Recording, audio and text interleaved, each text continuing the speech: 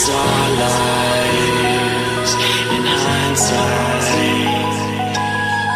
And as I lay here.